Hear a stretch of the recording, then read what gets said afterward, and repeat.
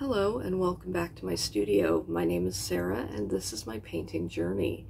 This is my weekly vlog where I document my journey to become a professional landscape and wildlife painter. So this week I wanted to talk a little bit about what I've got on the easel behind me. Uh, this is a worm study that has turned into something a little bit more. Uh, it's of, I found a nice reference of uh, Dinosaur National Monument in one of my free reference photos for artist group.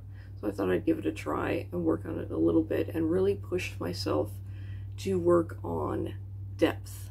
That's one thing I know I'm lacking a little bit uh, in my plein air, in my studio works, is getting that, that illusion of depth and atmospheric pers uh, perspective in my paintings. So working on that, and this was a nice, the reference photo has a nice depth of field to it so I thought it would be a good, fun attempt. Uh, so that is what I'm currently working on. I have a few other paintings in progress that are just kind of paused right now. Uh, the timeout pile is once again growing, unfortunately. But that means I've got a lot of other projects to do here coming up. So one thing I wanted to talk about today uh, is rejection and how to handle it. Because, as uh, you may know if you've been following the channel, a couple of weeks ago I entered the California Art Club Spring Awakening show, uh, online digital show, um, but it, was a juried show. And unfortunately, I didn't get in. Um, both my entries were rejected. Uh, didn't make it through the jurying process, which is really, really unfortunate. Um, really disappointing. I had really high hopes that I would get in. Um, yeah. So, it sucks. But what can you do? Um, I, I'm kind of looking back at my submission, I think I know why they didn't get in. Um, the one was of the deer painting that I was working on for weeks, trying to get the face right on that little thing. And while the painting itself came out good, it didn't come out great. So what I need to do is for these shows that I really, really want to get into, where I want that exposure, I'm, you know, I'm aiming not to win a cash prize or anything. I'm aiming to get exposure in these shows. I need to submit my best work, in which that right now is my landscape paintings. The second painting, the Table Mountain painting, I had really high hopes for. I thought that one was a shoo-in. Uh, it fit the theme. It was similar to the other paintings that I'd submitted. However, when I look back at my submission, I realized that the photo I had taken of that painting had a shadow on it. So about the left one third was darker than the rest. And that I think is what did it. Uh, because you have to remember when you're submitting to these shows through online means, what is being juried, what is being judged is not the painting itself. It's not the work of art itself. It's the photos that you submit of it. So those have to be spot on. They have to be as close to perfect as you can make them. And I wish I had caught that sooner. I could have rephotographed it and it probably would have gotten in. But you live and learn. So how do you handle rejection as an artist? It, it can be really tough. We're sensitive, you know, delicate little creatures, us artists. And, um, yeah, it can be really, really hard when a painting that you've spent weeks or months or years on, just, you go to enter it in a show and it gets rejected. And it's like, what happens next? You know, all these thoughts start running through your head of, oh, I, am a terrible artist. I, I must be absolutely awful if they don't like me. My art must be bad if I'm not getting in. But you have to push those negative thoughts aside. Now, I will admit I did go into a little bit of a depressive slump this past week, which is why there was no video last week. And, you know, kind of moped around a little bit, didn't paint a whole lot.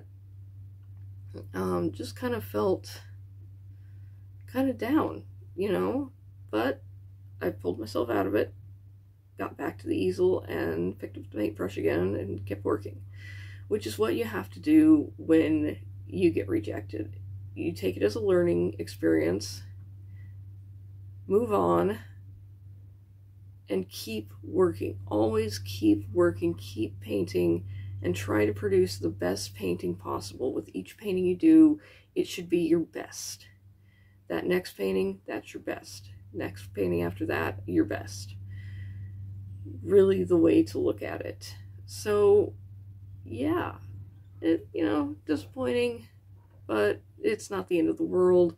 I have gotten into a California Art Club show before, which is why I had such high hopes of getting into this one.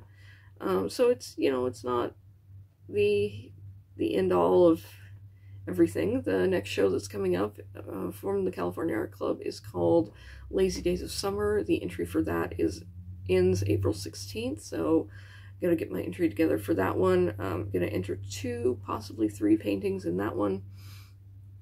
And I have, mm, you know, now that I've learned a little bit, I, I have a better feeling about this one. So really looking forward to that show that is coming up.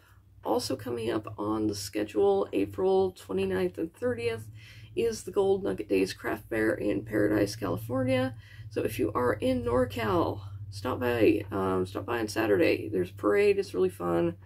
And stop by the booth and say hi. And coming up after that, May 20th through the 28th, I believe it is, is the Lost Sierra Plein Air Festival. So that's in Quincy, California. Beautiful little town, beautiful area. And I can't wait to go up there and spend 10 whole days taking workshops and listening to lectures and watching demos and then going out and painting. Painting from sunup to sundown and then coming back and having a show after that. And a street fair where I'm going to have all my paintings all of them up for sale. And so if you are in, again, the NorCal region eh, during that time frame, stop on by, please. Uh, we would love to have you come to that event. So, that is what I've got going on this week. Uh, if you have enjoyed this video, please leave it a like. Um, comment down below. Let me know what you think. If you have any questions, please uh, leave them in the comments down below. I'll try to answer them on next week's vlog. Uh, subscribe if you'd like to see more. Again, I'm trying to put out weekly content. Um, you know, it varies a little bit, but weekly content for the most part. And uh, check out the description in the video in the box down below. It's got links to all my socials, my Patreon, my Ko-fi, uh, my Facebook, my Twitter, my Instagram, all that good stuff. Also links to my website, which has my full body of work if you want to check that out. And my Etsy, where I have prints available of my work uh, up for purchase. So thank you guys so much for joining me today, and I'll see you in the next one. Bye-bye.